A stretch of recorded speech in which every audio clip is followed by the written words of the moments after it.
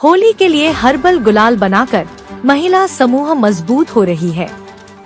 आज महिलाएँ किसी भी क्षेत्र में पीछे नहीं हैं। महिलाएँ आज हर क्षेत्र में पुरुषों के साथ कंधे से कंधा मिलाकर चल रही है। जी हाँ हम बात कर रहे हैं गरियाबंद ज़िले के वनांचल में बसे मदनपुर गाँव की बिहान से जुड़ी महिलाओं की जो होली में उपयोग करने के लिए हर्बल गुलाल तैयार कर बेचने में जुटी है और अच्छा मुनाफा भी कमा रही है। ताकि केमिकल युक्त गुलाल से नुकसान न पहुँचे।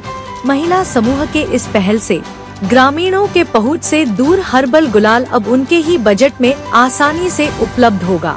राष्ट्रीय ग्रामीण आजीविका मिशन बिहान के अंतर्गत महिलाएँ नए रचनात्मक कार्य कर रही है। समूह की महिलाएँ पालक, पलाश के फूल, चुकंदर, धनिया पत्ती गेंदे के फूल काट कर पीस रही इन महिलाओं को देखकर तो ऐसा लग रहा होगा कि ये किचन के लिए कोई सामान तैयार कर रही है, पर ऐसा नहीं है। सब्जियों को काटने पीसने की काम में लगी ये बहनें मदनपुर के वसुंधरा महिला समूह की सदस्य है।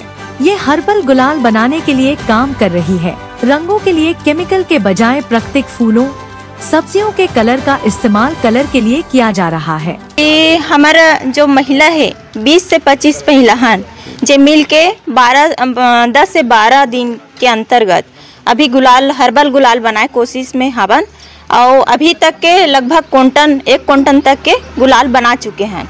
जिसमें हमार डिमांड भी है, मांग भी है, ओकर हिसाब से तैयारी करत हन आगे और मांग रही तो और बनाए जाही।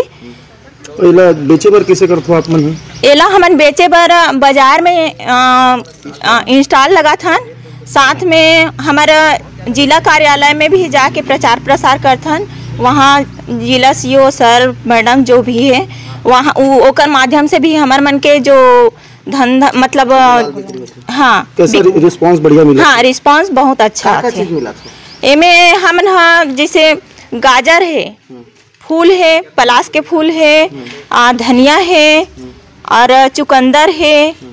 एकर सबसे हमन हाँ हर्बल गुलाल बना था हमन हाँ दस पंद्रह दिन हो गए बना थन जेमे से हमन हाँ प्लास के फूल से पीला कलर बना थन और पालक भाजी से हरा कलर है और चुकंदर से लाल गाजरी कलर में बनाथन।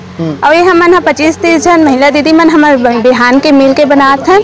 जेकर से हमारा जीविका में वृद्धि होत है और हमारे आय में वृद्धि होते है। अभी लगभग कते कखन बना रहे अभी हम लगभग एक कुंटल के आसपास बना चुके हैं। मार्केट में कर चलन है पिछले साल भी हमन बना रहे हैं उनमें भी हमन अच्छा से मुनाफा हो इसे पूरा जितना ही हमन मटेरियल बना रहे हैं उतना खत्म हो गया इस समय वहीं ज़िले के कलेक्टर दीपक अग्रवाल ने कहा कि महिला समूह द्वारा बनाए जा रहे हर्बल गुलाल एक अच्छी पहल है। केमिकल युक्त गुलाल के इस्तेमाल से इन्फेक्शन का खतरा बना रहता है। महिला समूह को जो भी संभव मदद चाहिए वो जिला प्रशासन करने को तैयार है। साथ ही लोगों से भी अपील है। कि ज़्यादा से ज़्यादा हर्बल गुलाल का उसे किया जाए ताकि स्किन फ्रेंडली के साथ साथ पर्यावरण फ्रेंडली भी रहे। जो भी हर्बल गुलाल है बनाया जा रहा है, वो बहुत अच्छी पहल है, क्योंकि केमिकल युक्त गुलाल जो है, यूज़ करते हैं, उससे लोगों को बहुत ज़्यादा दिक्कतें भी होती हैं। तो उनको जो भी संभव सहायता है, वो जिला प्रशासन द्वारा अवेलेबल कराई जा रही है और साथ ही लोगों से भी अपील की जा रही है कि ज़्यादा से ज़्यादा हर्बल गुलाल का यूज़ करें ताकि जो महिलाएँ इस कार्य में लगी हैं, उनको रोज़गार भी मिले और लोगों को एक अच्छा हर्बल युक्त गुलाल भी मिले, जो कि स्किन फ्रेंडली है, पर्यावरण फ्रेंडली है और लोगों के लिए नुकसानदायक भी नहीं है।